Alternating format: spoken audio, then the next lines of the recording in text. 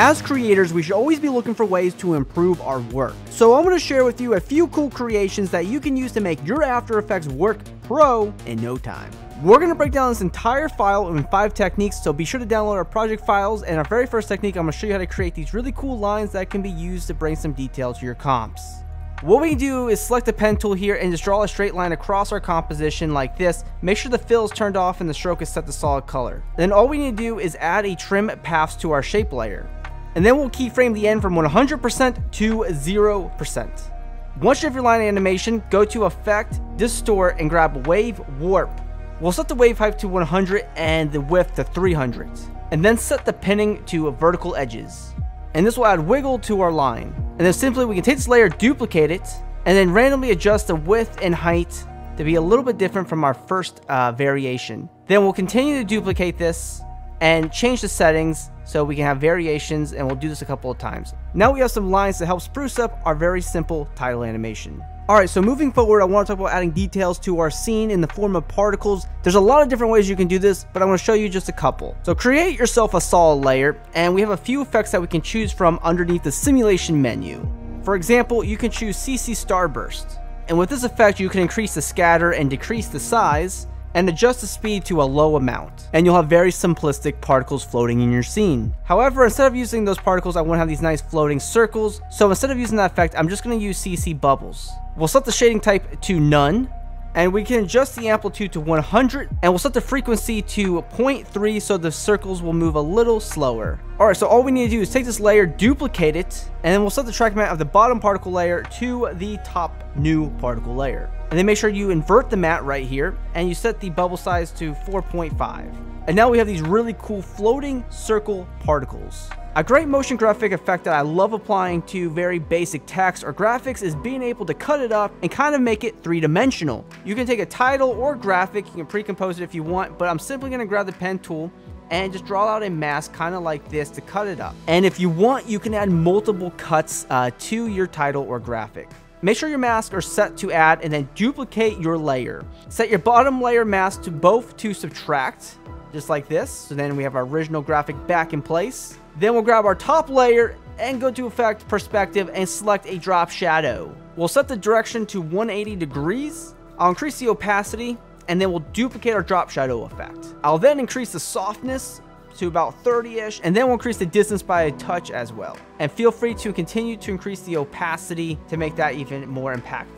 And if you absolutely want, you can duplicate one more time and change the direction. This way, if we can fill the cut here at the top. And I'll lower the settings tremendously on this duplicate so it won't be so noticeable, but we'll have a, that extra drop shadow detail. All right, so then all we need to do is animate all the opacity that we affected from their current value all the way down to 0%. This way, the drop shadows will fade into their final positions like this. Now we'll make both of our title layers 3D layers We'll grab the first layer and hit P on keyboard for position.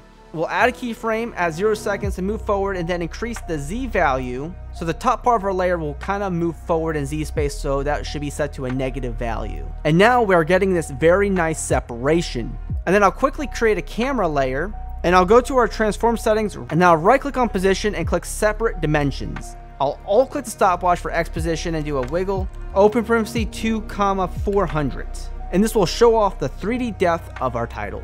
So creating this type of content is fun, but obviously takes a bit of time. So we just released a new pack of visual templates here for After Effects and Premiere Pro. As you can see, we can browse and import any of these templates. Then we can update the imported graphic and even add more templates to create a unique piece of work. So be sure to check the links in the description below to create awesome projects within moments. And if you pick up anything, you'll be supporting our channel, so thank you very much. Alright, so this is coming together, but we're still missing some very important details, and that is actually the background. So a lot of people like to use solid color backgrounds, but I have a really cool technique that's very subtle, but makes your backgrounds so amazing. So I have this stock image of a mountain, but please feel free to experiment with different types of landscape images, because you can make some really cool backgrounds, and we'll blend it in there so it looks natural. So we'll bring this underneath everything. Looks terrible. But then we'll go to layer new solid. We'll just call it color. And then we'll go to effect generate and we'll grab a gradient ramp. Since I want a dark palette, I'll make sure that the other color here is set to a very dark gray color. And I'll place this above our image and I'll set the opacity of the solid down to about 80%. And then for our original image, I'll go to effect color correction and I will tint it out so this way I'll be black and white. And one thing I love doing is always going to layer, new adjustment layer, and then going to effect noise and grain and adding a noise effect and setting up to about 12 to 24%. So now we have this nice but silent background that no one can be mad at you for except for those, you know, few picky clients. Alright, so we've gotten really creative with the graphics, but one thing that we've done to our project is kind of ruin the balance of it. So to bring balance to the force of what we've created, uh, we can add some side graphics here at the top which will help balance out our image. And the reason why we don't necessarily have balance is because of these line graphics down here. So adding a little something at the top will make a difference. So I can come here and type out a title or whatever. You know, this is where we're getting creative with titles, but you still need to make sure that is relatable to the content you're creating. So just don't type out anything. And more importantly, when you're adding multiple titles, go ahead and add variation to it as well by changing up the fonts. And make sure you turn on title action safe so you can perfectly balance this here in the corner of your project. So feel free to add your titles however you see fit. You also don't have to just use titles. Or you can add in other cool graphics and icons. So always be thinking about how you can take techniques like these and apply it to your future projects.